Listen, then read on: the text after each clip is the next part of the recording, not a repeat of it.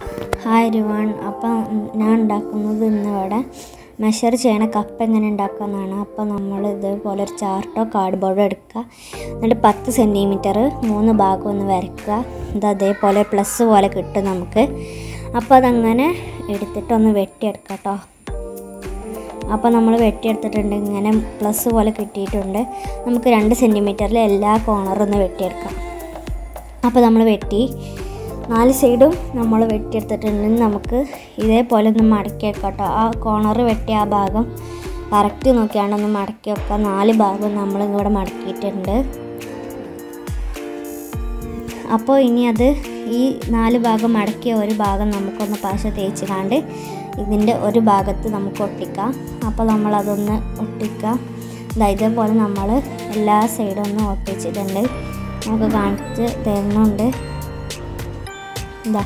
അപ്പോൾ നമ്മൾ ഈ ഭാഗം എടുത്ത് ഇവിടേക്ക് ഒട്ടിക്കണം കേട്ടോ. അപ്പോൾ നമ്മൾ എല്ലാ ഭാഗവും ഒട്ടിച്ചെടുത്തിട്ടുണ്ട്. നമ്മൾ ഒട്ടിച്ചെടുത്ത് കഴിഞ്ഞിട്ടുണ്ട്.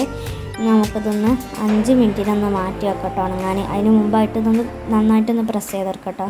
പശ തേച്ച ഭാഗം അഞ്ച് മിനിറ്റിനൊന്ന് മാറ്റി വെക്കാം നമുക്ക് ഇങ്ങനെ അഞ്ച് മിനിറ്റ് കഴിഞ്ഞിട്ടുണ്ട്. നമ്മൾ ഇങ്ങനെ ഉണങ്ങിയിട്ടിട്ട് നമുക്ക് നിങ്ങൾക്ക് ഇഷ്ടമുള്ള ടാപ്പ് കളർ ഉപയോഗിച്ച് എല്ലായിടത്തും ഒന്ന് ചുറ്റിയെടുക്കട്ടോ.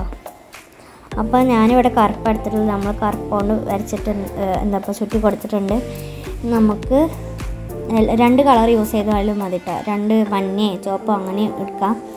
നമുക്ക് ഏതെങ്കിലും വെള്ളം തന്നെ പോവാത്ത കളർ ഉപയോഗിച്ച് നമുക്കിവിടെ മൊത്തം ഓരോ ഡിസൈൻ വെച്ചിട്ട് ഞാൻ ഇവിടെ ചുവപ്പ് കളർ ഉപയോഗിച്ച് കുറേ ഡോട്ടുകൾ ഇട്ടെടുത്തിട്ടുണ്ട്.